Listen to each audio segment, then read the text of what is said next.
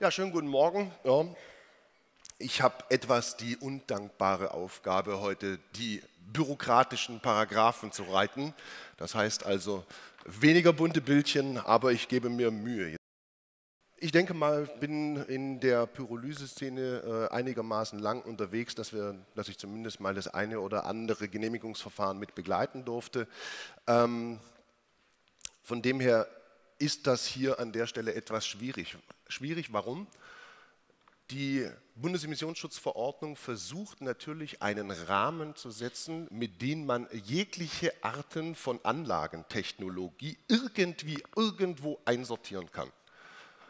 Jetzt gibt es immer irgendwelche Fälle, Spezialfälle. Ich bin mal gespannt auf Ihre Fragen nachher.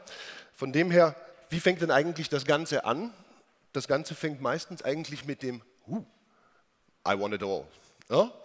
Ich habe da was in meinem Hof, auf meinem Gar in meinem Garten irgendwo gefunden. Ja, das, damit kann ich jetzt was Tolles machen, zum Beispiel Pyrolyse. Marcel Huber, wo ist er hin?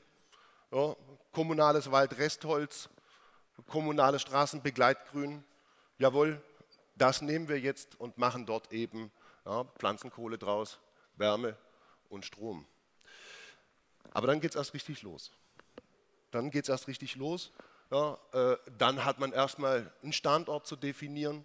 Wir haben den Brennstoff zu definieren. Wir müssen die Wärmenutzung, das ist tatsächlich das Thema schlechthin. Ich sage in der Pyrolyse-Technologie, was ist das Wichtigste? Die drei wichtigsten Faktoren, Standort, Standort und Standort. Ja, das Wärmenutzungskonzept muss passen, ansonsten passen die Wirtschaftlichkeitsmodelle nicht. Das heißt also, wir gehen weiter. Pflanzenkohlenqualität, was machen wir damit? Bei welchem Einsatzmaterial? Ich sage jetzt einfach mal Positivliste EBC. Ja, bei welchem Einsatzmaterial kommen wir zu welcher Pflanzenkohle? Wo können wir eigentlich die Pflanzenkohle einsetzen? CO2-Zertifikate generieren. Sie merken also, da hat man schon mal ein bisschen was zu tun. Dann gehen, steigen wir ein in die Planung, Machbarkeit, Wirtschaftlichkeit etc. etc. etc. Und dann kommen wir jetzt zu diesem wirklich unleidigen Thema. Das unleidige Thema nämlich der Genehmigung. Bis dahin war eigentlich alles immer recht schön, ja, weil man hat so immer den Strauß, den Blumenstrauß, es ging immer weiter, alles gut und auf einmal muss alles freeze. Jetzt muss alles passen. Und da tut man sich natürlich ziemlich schwer, weil man davor in der Planungsphase tatsächlich noch Variabilität drin hat. No? Aber ab diesem Zeitpunkt ist die Variabilität in Ihrem Projekt nicht mehr gegeben. Und ab da müssen Sie sich, da müssen Sie quasi, entschuldigen Sie bitte, aber da müssen Sie dann die Rosen runterlassen vor irgendwelchen Leuten, ja, die nicht mit dem Gedanken bei, bei, Ihnen sind, sondern die ganz einfach sagen, hier sind meine Paragraphen. Ja. Dann, wenn wir das dann durchgestanden haben, ja, dann gehen wir in den Bau rein, Baubegleitung, Bauüberwachung, das ist dann auch so ein Thema, was wir noch mit, mit, mit betreuen. Und dann natürlich gehen wir in die Inbetriebnahme. Ähm, bei einer Genehmigung, wir reden immer, nicht immer, ja, ähm, bei größeren Pyrolyseanlagen, Schrägstrich Vergasungsanlagen, Verbrennungsanlagen durchlaufen wir ein sogenanntes Bundesemissionsschutz, also ein emissionsschutzrechtliches Genehmigungsverfahren. Das regelt die Bundesemissionsschutz oder das Bundesemissionsschutzgesetz. Ähm, das Bundesemissionsschutzgesetz hat natürlich, ich sage mal, Schutz ähm, der Umwelteinwirkungen ja, Ihres Projektes auf die Umwelt, auf die Natur zum Ziel. Das macht Sinn, das ist klar, das ist verständlich. Wo kommt das eigentlich her? Alle erinnern sich, 70er Jahre, saurer Regen, da kommt das eigentlich her. Ja. Ähm, ich glaube, Bundesemissionsschutzgesetz wurde verabschiedet, das erste 1974. Äh, Und es ist interessant, wenn man sich überlegt, dass wir eigentlich über eine ähnliche Geschichte heute wieder reden. Nur dieses Mal ist es CO2 und nicht SO2. Spannend. Ähm, was passiert dann? Ähm, wenn Sie dann eben reingehen in diese BIMSG, finden Sie genehmigungsbedürftige Anlagen. Da gibt es dann unterschiedliche Verordnungen dazu in diesem, ich sag mal, Gesetz oder zu diesem Gesetz. Und in diesen genehmigungsbedürftigen Anlagen finden Sie dann auch Ihre unterschiedliche Anlagentypen. Das, ist, boah, das können Trockner sein, das können Kokereien sein, das können, keine Ahnung, Biogasanlagen sein. Also da sind wirklich äh, einige Anlagen drin gelistet. Ähm, Genehmigungsverfahren nach BINSG können durchaus anspruchsvolle Verfahren sein. Bisher ist es tatsächlich so, dass wir mit unseren Anlagen im Normalfall ja, in einem vereinfachten Verfahren uns befinden. Was würde das bedeuten, wenn wir eben nicht in einem vereinfachten Verfahren uns befinden? Dann haben wir mit, äh, ich sage mal, Bürgerbeteiligung, ja, mit Öffentlichkeitsbeteiligung zu tun. Dann sind wir quasi in einem Genehmigungsverfahren wie die Windkraftanlagen. Und da brauche ich Ihnen nicht erzählen, wie lang die Genehmigungsverfahren dort äh, ja, laufen. Bei uns in Baden-Württemberg immer ein bisschen länger als, ich sage mal, im nördlichen Teil von Deutschland. Deswegen haben wir auch einfach weniger. Und da gehen wir jetzt aber mal so langsam dran. Gut, ich hatte Ihnen jetzt gesagt oder erklärt, wie denn eigentlich dieses, so ein Projektablauf stattfindet. Vielleicht nur ganz kurz, ähm, Sie sehen jetzt hier nochmal aufgedröselt die einzelnen Schritte. Ähm, für mich wichtig ist eigentlich bei der Antragserstellung, bis dahin muss soweit eigentlich alles klar sein, Zeichnungen müssen da sein, ja, ähm, Sie müssen schon die Entwurfsplanung durchlaufen haben, es muss eine Energie- und Massenbilanz da sein zum Beispiel. Und jetzt komme ich noch darauf zu sprechen, eine Bundesemission, also eine emissionsschutzrechtliche Genehmigung bezieht sich nicht auf die Anlage. Ja? Sie können also nicht eine Anlage sich genehmigen lassen an einem Standort, die wegtragen und an einem anderen Standort haben Sie ebenfalls diese Genehmigung. Nein, dieses, diese Genehmigung bezieht sich auf einen Standort. Das heißt, dieser Standort wird untersucht und da, an diesem Standort müssen Sie dann auch zusätzliche Schallgutachten womöglich noch vorlegen Gutachten zur Luftreinhaltung, Geruchsgutachten, wenn Sie eben trocknen, je nachdem, was für ein Einsatzmaterial Sie verwenden. Sie haben womöglich tatsächlich AWSV, die Biogasanlagenbranche kennt sich damit aus.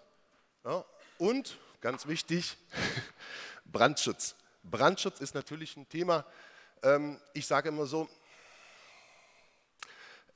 für unsere Auftraggeberschaft, es macht Sinn, sich mit diesem Thema zu beschäftigen. Ne? Es ist sinnvoll. Also man darf das auch nicht alles immer nur als Hürde sehen und als zusätzlichen Aufwand, sondern es ist auch tatsächlich ein Schutz für Sie selbst, ja, dort in dieses Thema Klarheit hineinzubringen. Gut, im Prinzip unten drunter sehen Sie, wir reden hier über sechs bis neun Monate. Das Ganze kann dann in zwei unterschiedlichen Verfahren stattfinden. Das sehen Sie hier, ich hatte schon darüber gesprochen. Ähm, entweder in einem vereinfachten Verfahren, oder eben in einem förmlichen Verfahren. Der Unterschied ist eben zum Beispiel mit Öffentlichkeitsbeteiligung, aber auch die Prüfdauer der Behörde. Das bedeutet, wenn Sie in einem vereinfachten Verfahren unterwegs sind, können Sie, ja, sofern die Genehmigungsbehörde äh, die Vollständigkeitsprüfung positiv Ihnen bescheinigt hat, ab diesem Zeitpunkt läuft ein, eine Phase, eben von entweder drei Monaten, bis Sie im Prinzip Ihren Genehmigungsbescheid vorliegen haben, oder sieben Monate in, ich sage mal, dem förmlichen Verfahren. Jetzt ist es natürlich so, hm, dass auch hier in diesen Verfahren womöglich zusätzlich nachher noch irgendwelche Nachforderungen geführt, äh, gefordert werden können. Das heißt, diese Zeiträume können durchaus gegebenenfalls länger werden dass äh, so Genehmigungsbehörden sind meistens nicht gut also, ne, personell besetzt. Das heißt, sie können nicht unbedingt darauf hoffen, dass sie hier einen regen Austausch haben. Und es kann durchaus sein, dass sie einfach gar nichts hören und die drei Monate einfach verstreichen. Und das ist tatsächlich ein Problem. Ich werde dann nachher nochmal drauf zu sprechen kommen. Ich wurde gebeten, ja, wie kann man im Prinzip Genehmigungsverfahren beschleunigen. Ähm, da komme ich nochmal drauf zu sprechen. Gut, ich hatte schon darüber gesprochen. Wir haben ein vereinfachtes Verfahren oder ein förmliches Verfahren. Da will ich jetzt nicht nochmal tiefer drauf einsteigen. Dieses vereinfachte Verfahren ist tatsächlich, ich sage mal, der, ja, ich würde sagen 80 Prozent, 90 Prozent der Anlagen, die ich bisher betreut habe im Genehmigungsverfahren, sind nach einem vereinfachten Verfahren genehmigt worden. Ich muss dazu sagen, ähm, üblicherweise beschäftige ich mich eher mit Abfallmaterialien für die Pyrolyse und eher nicht mit reinen Hackschnitzeln. Das ist so ein kleiner Unterschied nachher noch. Ähm, die Abhängigkeit von der Art und insbesondere von Auswirkungen der Anlage auf die emissionsschutzrechtlichen Schutzgüter ähm, sind dann eben zu untersuchen. Einordnung der Verfahrensart erfolgt äh, im Anhang 1, Spalte C der vierten BIMSCH-V. Die vierte BIMSCH-V, das ist die Bundesemissionsschutzverordnung, regelt die genehmigungsbedürftigen Anlagen und dann eben, welches Verfahr welche Verfahrensart muss dann eben eingeschlagen werden. Dort wird das eben geregelt. Jetzt die große, große Frage. Wie läuft denn eigentlich ein Genehmigungsverfahren ab? Was muss in so einen Antrag? Das wiederum regelt die neunte Bundesemissionsschutzverordnung. Ja, und ähm, dort ist im Detail aufgelistet, was dann eben gemacht werden muss. Das, die Gliederung eines solchen Antrags ist immer das Gleiche. Ja, rein prinzipiell eigentlich einfach. Es ist nur immer wieder diese Prüfung an dem Standort, diese Anlagentechnik auf dem Standort zu, klar zu definieren und quasi die ganzen Nachweise zu bringen. Das ist eigentlich das, was so viel Zeit kostet. Jetzt ist es nicht so, dass wir immer nur neu bauen. Meistens hat man wahrscheinlich schon irgendwo mal eine Anlage stehen, ein Standort ist schon entwickelt ja, und man denkt sich, boah, jetzt habe ich ja schon mal irgendwie eine Energieerzeugungsanlage, dann stelle ich doch eine Pyrolyseanlage dazu. Das machen Sie mit einer Änderungsgenehmigung. Die Änderungsgenehmigung ja, kann auch wiederum in zwei unterschiedlichen Arten ausfallen. Ähm, die Änderungsgenehmigung entweder ja, sie modernisieren nur und sie haben keinen zusätzlichen Impact auf die, ich sag mal, auf die Schutzgüter, dann ist, können Sie das durchführen mit einer Änderungsanzeige. Das ist tatsächlich relativ einfach. Ja, ich gehe jetzt einfach mal äh, Beispiel. Ähm, Gerald, du willst einen Wärmetauscher, ja, einen Wärmetauscher ändern, ja, dann geht das über einen, äh, ich sag mal, Änderungs, äh, ähm, Änderungsanzeige, einfach zwei Seiten, wunderbar hinschicken, relativ schnell. Wenn wir allerdings zusätzlichen, äh, ich sag mal, mm, Impact auf, den, auf die Umwelt haben, ja, dann müssen wir eine Änderungsgenehmigung machen. Das ist dann eben nicht mehr so einfach. Das ist schon tatsächlich wie fast einen äh, Genehmigungsantrag schreiben. Sie sehen hier die maximalen Zeiträume für eine Neugenehmigung und für die Änderungsgenehmigung. Das ist das, was ich so meine. Die Änderungsgenehmigung hat das dann tatsächlich echt in sich im vereinfachten Genehmigungsverfahren dieselben zeitlichen Abläufe. Allerdings ist es recht äh, spannend, wenn Sie natürlich, ähm, wenn Sie einen Genehmigungsantrag einreichen, dann muss die Behörde diesen Genehmigungsantrag bearbeiten. Ja? Das heißt also, auch hier haben Sie Rechtsanspruch auf Genehmigung. Eine Genehmigungsbehörde darf nicht sagen, bearbeiten wir nicht. Das gibt Ihnen auf jeden Fall Sicherheit. Gut. Ähm, Verordnung über die genehmigungsbedürftigen Anlagen. Ähm, hier in dieser vierten BIMSCH-V werden eben die Anlagentypen sortiert, äh, kategorisiert und dann auch äh, unterschiedlich einsortiert. Die Ausnahmen von der Genehmigungsbedürftigkeit das wird jetzt die Hochschulen hier, aber das wissen die meisten Hochschulen auch schon, ähm, wenn das eine ortsveränderliche Anlage ähm, mit dem Fokus auf Forschung ist, dann bedarf diese Anlage keine Genehmigung.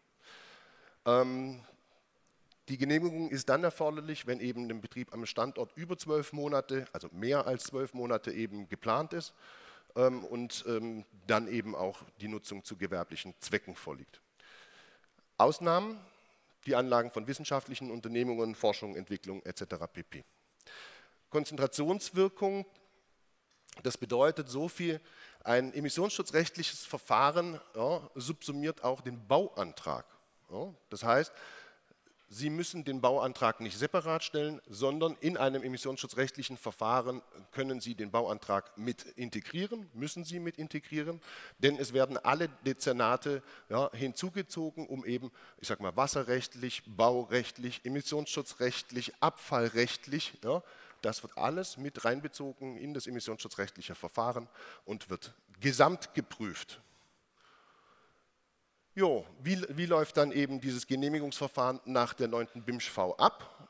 Das heißt, diese 14 Kapitel können Sie im Prinzip, so machen wir das tatsächlich in unserem Ingenieurbüro, da ist immer das Gleiche, einmal die Register durch und dann wird immer aufgefüllt. Ja?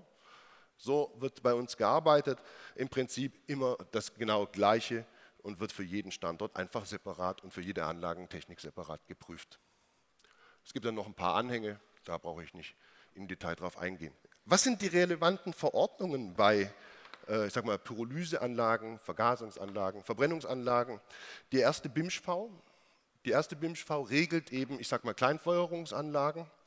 Das ist nichts anderes als Ihr Holzofen, Ihr Pelletofen, Ihr Öl, Gasofen im Keller. Das regelt die erste BIMSCH-V. Die vierte BIMSCH-V, darüber hatte ich gerade eben schon gesprochen, die regelt eben die genehmigungsbedürftigen Anlagen nach Bundesemissionsschutzgesetz. 17. BIMSCH-V, diese habe ich ganz bewusst durchgestrichen, weil oben drüber, oben drüber sehen Sie Pyrolyseanlage.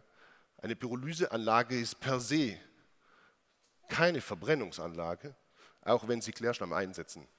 Das heißt also, die 17. BIMSCH-V hat zum Ziel, eine Abfall, vollständige Oxidation des Abfalls, ja, also eine Entsorgungsanlage. Das ist eine Pyrolyseanlage nicht, wenn wir Klärschlamm einsetzen, denn wir haben äh, im Fokus den Nutzen von Kohlenstoff als auch eben von Phosphor aus diesem Material. Die 44. BIMSCH-V ist nichts anderes als die Harmonisierung ähm, der europäischen ähm, Emissionsverordnung hinsichtlich Abgase, ist die eben äh, relevant, wenn Sie größere äh, Anlagentechniken bei sich dann äh, planen. Und dann müssen Sie eben diese dort aufgelisteten Emissionsgrenzwerte einhalten. Zusätzlich findet für Sie auch immer noch die technische Anwendung bzw. TA Luft und TA Lärm ähm, wird für Sie dann auch immer wieder relevant. Und worauf Sie sich ebenfalls äh, tatsächlich stützen können, wäre die VDI 3933, Emissionsminderung, Erzeugung von Biomassekarbonisaten. Diese zeigt tatsächlich einen solchen Entscheidungspfad ja, auf. Ähm, hier könnte man im Prinzip jetzt die Fragestellung Einsatzstoffabfall ja, nein. Ja, das müssen Sie für sich selbst, für Ihr Projekt ja, selbst beantworten. Das kann ich vorab nicht äh, für alle. Ich gehe jetzt einfach mal zum Beispiel Abfallstoff ja, denn ich halte die Pyrolyse durchaus, ich sage mal, dann relevant, wenn wir Abfallstoffe einsetzen. Dann Durchsatzfrage, jetzt merken Sie, jawohl, es geht immer um die stoffliche Kategorisierung, Abfall, ja, nein, und dann immer Mengengerüst. Ja. In, in diesem Fall, wenn wir jetzt kleiner 3 Megagramm, also Tonnen pro Stunde gehen, dann ist, stellt sich noch die Frage, Altholz A1 oder A2? Hm. Man könnte natürlich mit einem Altholzverwerter ins Gespräch gehen und sagen, ja, warum nicht? Ja. Und dann kommt man hier zur Leistungsabfrage. Ja, wie groß ist denn nachher eigentlich die Anlagengröße? Ja. Thermische Leistung. Und hier sind wir dann größer, ich mache jetzt nur ein Beispiel, ne? ein Beispiel durch, größer 1 Megawatt, dann sind wir bei der 8115 zum Beispiel. Diese 8115-Nummer, diese Nummer finden Sie jetzt in der vierten BIMSCH-V und da steht dann drin, jawohl, Sie können ins vereinfachte Verfahren zum Beispiel und was Sie sonst noch alles zu berücksichtigen haben. Ja, es gibt immer wieder so die Frage, wir, da kam sie schon, ja? thermische Leistung, Brennstoffleistung, was ist es denn jetzt nun? Ähm, es ist unterschiedlich tatsächlich. Das heißt, wenn Sie als Einsatzmaterial einen Regelbrennstoff nach erster BIMSCH-V haben, ja, dann müssten Sie unter Paragraph 2.6 der ersten BIMSCH-V nachlesen, Feuerungswärmeleistung ist auf den unteren Heizwert ja, bezogene Wärmeinhalt des Brennstoffs. Das heißt also, hier wird auf, die, auf den Energiegehalt des Brennstoffes bezogen. Das bedeutet, erste BIMSCH-V, Regelbrennstoff ich sage mal, Ihre Heizung zu Hause, ja, brennstoffseitig, weil die, diese erste BIMSCH-V geht um Verbrennung. Ja, da kommt sie her. Das kann man nicht anders definieren. Denn Öl, Gas etc. pp. Ja. Ähm, es gibt allerdings auch die Möglichkeit, ja, dass Sie durch die vierte BIMSCH-V über Pyrolyse kommen Sie zu Anhang 1, Nummer 1.14.3.2 in der vierten BIMSCH-V da dazu, wenn Sie einen Regelbrennstoff einsetzen, Anlagen zur Vergasung ja, mit dem Ziel zur Produktion von Holzgas und einer Produktionskapazität ähm, eines Gases mit einem Energieäquivalent von einem Megawatt. Hier beziehen wir uns also nicht auf den eingesetzten Brennstoff, sondern einmal auf einmal auf den Energiegehalt des Gases, was wir weiter verwenden wollen. So, das bedeutet, das sind die, ja, das ist alles, was für Sie relevant ist, wenn Sie einen Regelbrennstoff einsetzen. Anders, wenn Sie einen Abfall einsetzen. Das wäre ja zu einfach, ja, wenn alles gleich wäre. Ähm, wenn Sie einen Abfall einsetzen, dann sehen Sie hier unten, ich hatte es gerade eben schon ähm, in die Richtung, hatte ich Sie gerade schon gelotst, ne? beim Abfalleinsatz vierte BIMSCH-V und dann sehen Sie nach 8114, sofern wir kleiner 3 Tonnen Durchsatz pro Stunde haben, dann kommen wir hier ja, auf einmal zu einem massenbezogenen Einsatzbegrenzung ja, des Brennstoffs. Das heißt, wir haben tatsächlich Original, Originalsubstanz, Originalsubstanz. Ja? Das interessiert hier nicht. Ja? Da ist nichts mit TS bezogen, Frischmasse. Gut, also ich sehe, also Sie sehen, es gibt drei unterschiedliche Bezugsgrößen ja, für die Definition, wo geht es denn eigentlich hin.